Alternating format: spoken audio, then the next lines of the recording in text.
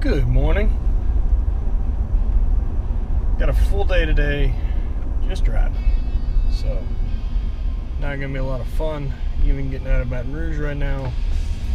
There's already traffic, and I'm like a quarter mile from my house. But that's standard here. She was a long leg black hair right out of hell. Uh-huh.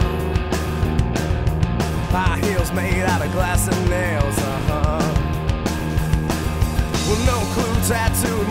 12, uh -huh. Pretty happy with progress uh, of things. Yesterday, did about 20 miles on the bike. Also went and took a hot yoga class with uh, the wife and neighbor, and I really enjoyed that. Doing yoga is something in the off season I really do enjoy doing. It's basically focused mobility is what I, I like to think of it as. I mean, it's yoga, make no mistake, but it's spending an hour you know, if not more, especially the hot yoga class in a 90 degree room, stretching and just working some positions, trying to do some stuff. And I would never do that in my garage. I would never sit there and just work on mobility and stretch for uh, an hour. So it's really good. And I think the, the class I like taking is uh, Tuesdays and Thursdays. And right now with my training, I think I could put that in Tuesdays and Thursday nights on top of whatever else I'm doing. I really do enjoy it. Uh, if you have not ever taken a yoga class and you're a big guy and you're a little stiff, I recommend it. It's nice. It's it's a good focus. It's a good way to find your breathing, relax a little bit. Uh, just a nice change of pace. So check that out. Uh, treat yourself. Take some yoga. And uh, update on diet. Diet has been good. I have not changed any of my macros. Uh, I don't plan on it until something's not really working. But I've been very solid uh, this week. I'm five days absolutely on top of my shit. Hitting the truck today. As you can see, I've got my food. I've got my coffee with me. And gonna make the most of it. Right now, this morning's weight was 276. I've been under two, 280 for the last couple days. And uh, just kind of kind of keep that up. See where where we go from there there will be a point where I don't want to lose any more weight,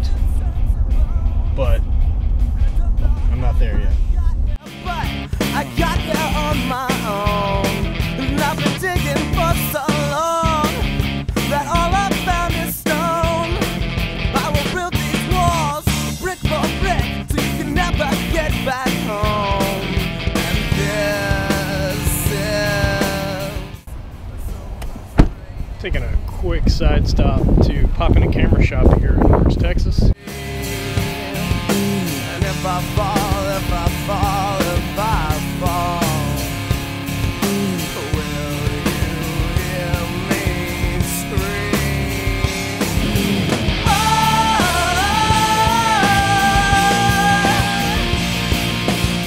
I'd like to get a little wider angle for my uh, my point and shoot. See what they got. Got some new stuff. Pretty cool. It's like uh, one of the few camera shops actually anywhere near me. I'm a guy that kind of gets, I don't know, really into something. And now that I'm doing some filming and doing some shooting, this is just another thing. So, give you the rundown on what I bought. My damn dog cage still in the back from camping. So, handlebar mounts for the GoPro. Put those on the bike. A uh, external mic, little directional shotgun type thing for the uh, either my DSLR or my point and shoot that I carry with me all the time. The uh, EOS M. So, not sure how many people out there also are crossover of camera people, but fun stuff. Finished the trip. Change into uh, other clothes go to a meeting, and then uh, hit the road home. So, not sure how the microphone is picking it up, but a little test run, something different. I'll actually get a good shot of it here with the old GoPro. So that's what we're looking at. hopefully this directional mic, like right now, it should not be picking up sound too great, but as I move here, it should pick it up way better than it has been in the past. So, just something else to add. Uh, trying to keep production quality up, trying to keep some nice stuff. Basically, see what I can do on my own as I'm learning to film and play with things. But that Canon, that G7, that's what I want, but that's like 600 bucks. And I don't need right now. That would give me another camera that I would travel with. I would basically, it would kind of replace this one. That's really the truth. Uh, this one would end up getting moved to a couple different things, but that would be a pretty cool camera to have. We're back on the road, now heading home. About three hours to get home. It's almost three o'clock now. Long day. And then uh, I got about nine or 10 hours tomorrow in the truck. So trying to make the right decisions food wise. I'm gonna stop here in about 20 minutes. I called ahead to a Chili's because they make chicken and rice and some broccoli. So gonna keep with the plan, eat what's necessary. And in the meantime, I'm gonna listen to Joe Rogan.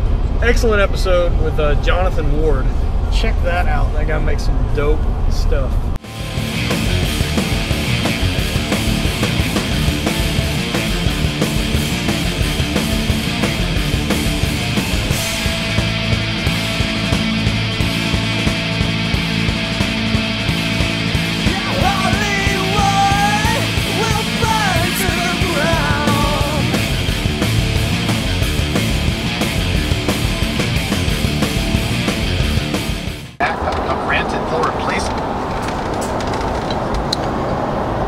Oh, hitting the road, fucking starving. I really went too long without eating today, so that's what it looks like. That's half of what I picked up from Chili's. 3:30 now. I will probably eat again about five before I hit major traffic in Baton Rouge. Get those meals in. Today will be a rest day. I will likely not do fuck all. So, sorry the vlog's not any more exciting. Hopefully something cool's happening around the house but I doubt it. Maybe I'll do some stretching and talk about something there. So after a long day in the truck, you know, one of the issues I have is how short my hips get because I'm stuck in this position basically the entire time. I mean, I can maybe get a little bit of recline, but it's never very good. So one of the things I try to do when I get home after being in the gym a long time is do some stuff that's gonna put my hips in extension, even just sitting there. So one of the things I've done, I got from Travis Jewett, check him out, is kettlebell, tight core, and just extend the hips through that way and work on trying to rotate the, the femur through. So squeeze your butt, twist your legs out, try to push your feet together in the back and hold. Move it to each side. And hold.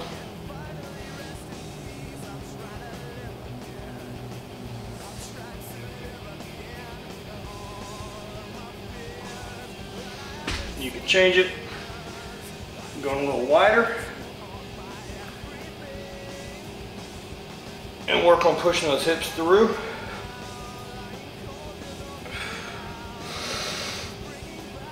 It doesn't feel great.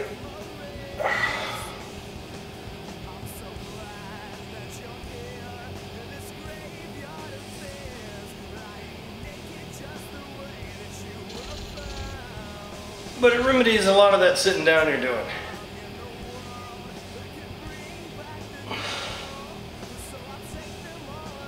My hip extension's already bad, and I'm not going to be driving any less, so I've really got to stay pretty diligent on doing all this shit. Ugh.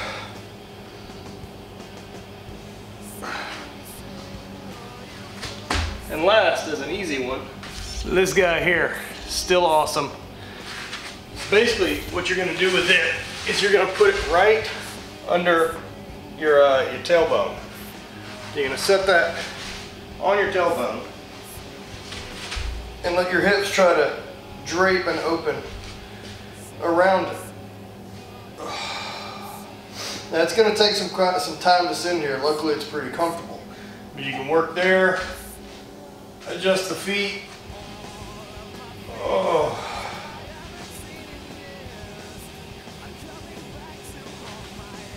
and let the hips push open. Basically, just let gravity kind of be your friend. You can band this around the back and get some added help. And just let your hips kind of fall open and get into an extension. These are some moves I do to really, really try to combat all that time in the truck as well as gut smashing with one of these. Little kid soccer ball. It's probably in my top three favorite mobility tools I have. Thanks for watching and uh, see you guys tomorrow.